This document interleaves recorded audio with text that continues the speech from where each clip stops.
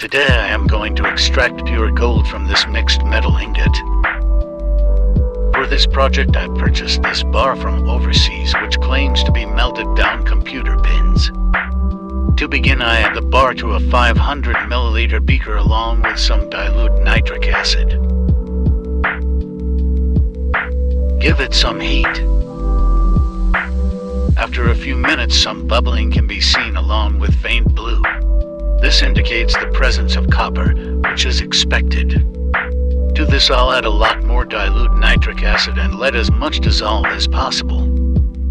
Nitric acid easily dissolves copper, silver, lead, or any other metal that would be in here, but it cannot dissolve gold. This way I can remove the majority of any non-gold metal in solution and leave as much behind as possible. At this point, the solution is very saturated, so I decide to pour it off and add fresh water and nitric acid.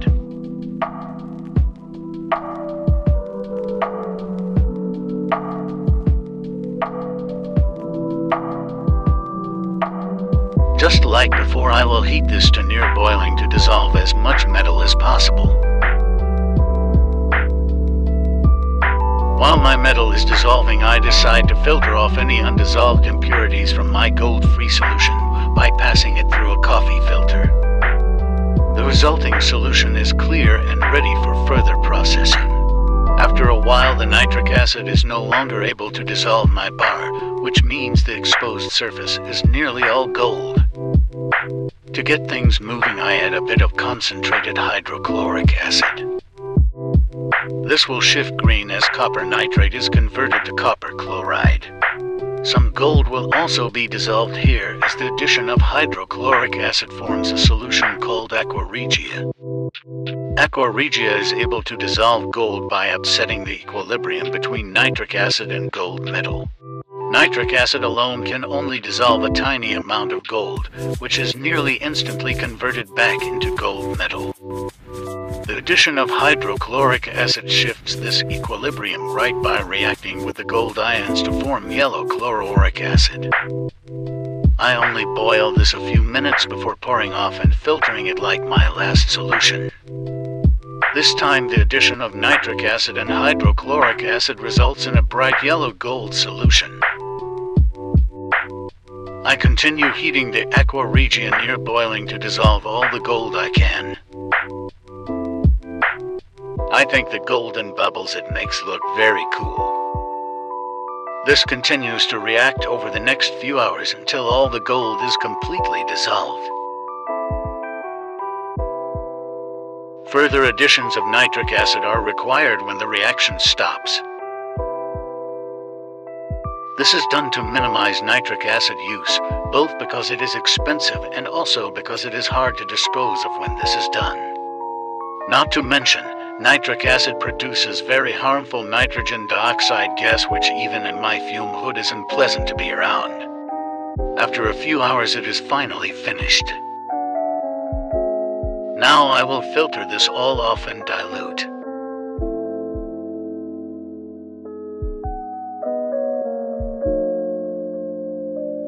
Next I need to remove all the dissolved metals from solution and separate them.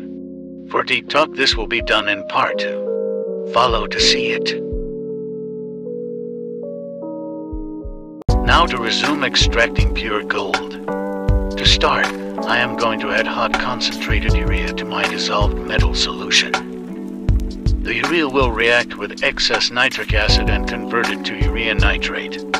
This will prevent toxic gases from being released in further steps.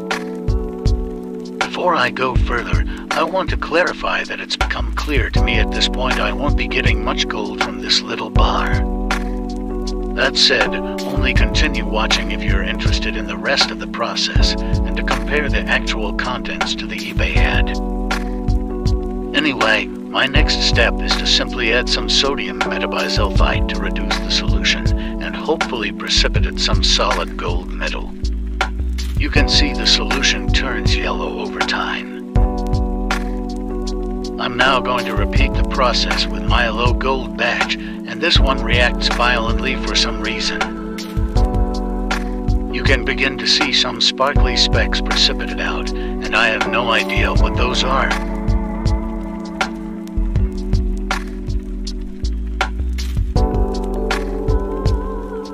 At this point, I simply allow both solutions to settle overnight.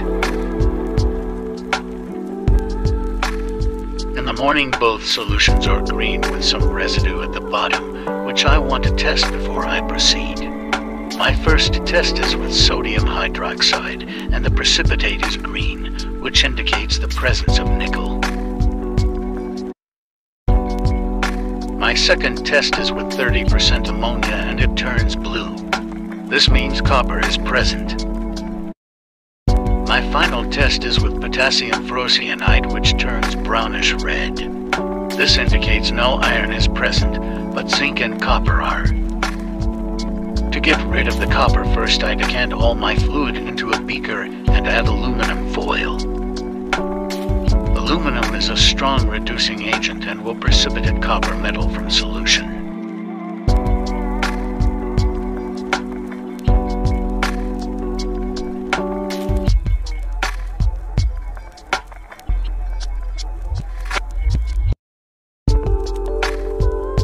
You can see the copper metal raining down.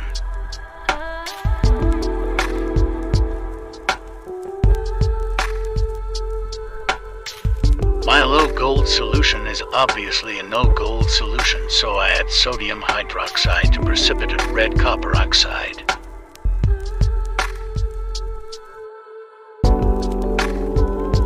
This is allowed to settle while I move on to my other batch.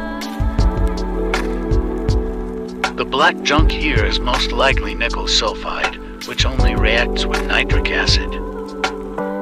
My plan is to redissolve all this in aqua regia and then precipitate using sodium hydroxide. The massive excess hydroxide with some sodium metabisulfite will leave zinc and nickel in solution while precipitating copper and gold. Here I am adding metabisulfite pellets, and in the next I'm adding hydroxide. This will turn the solution a deep green due to the soluble nickel and zinc hydroxides.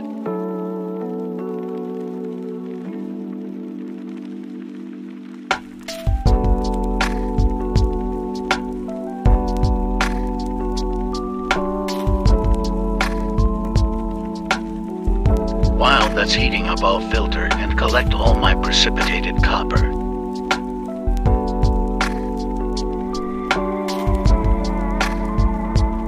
This is all the copper.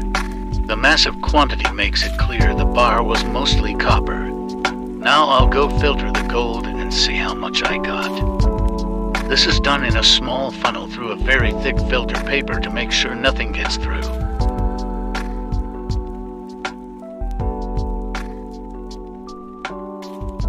And this is what I'm left with.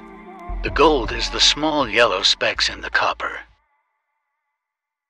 There isn't enough here to bother keeping, but given the unexpected interest in this topic, I'll get some computer pins and get some real gold very soon. As for what was actually in this bar, I calculated it was roughly 75% copper, 18% nickel, 6% zinc, and a trace quantity of gold. These are various salts and solutions from these metals, and even though I didn't get gold, I think these are beautiful cope. The rest of the video is just me trying to further process the tiny flecks of gold and the original eBay posting for the gold. Watch if you're interested and follow for more.